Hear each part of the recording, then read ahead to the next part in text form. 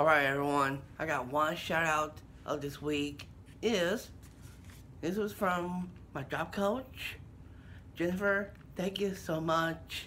You're the best job coach ever. Thank you so much.